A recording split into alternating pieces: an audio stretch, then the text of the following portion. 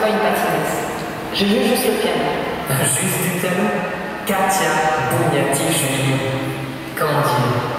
Katia, c'est une méga star. C'est elle qui va nous accompagner dans notre grand poème en trois parties.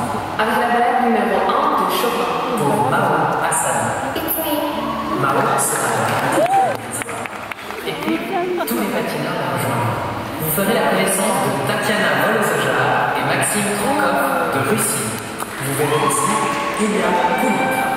C'est alors qu'entrera en scène notre héroïne de cœur cul. Lui, la fabuleuse, la fatale Caroline Costa.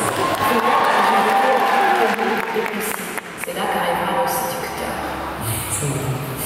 Quand tous les passions sont partagées, ça finit par l'autodestruction. Et tout ça en deux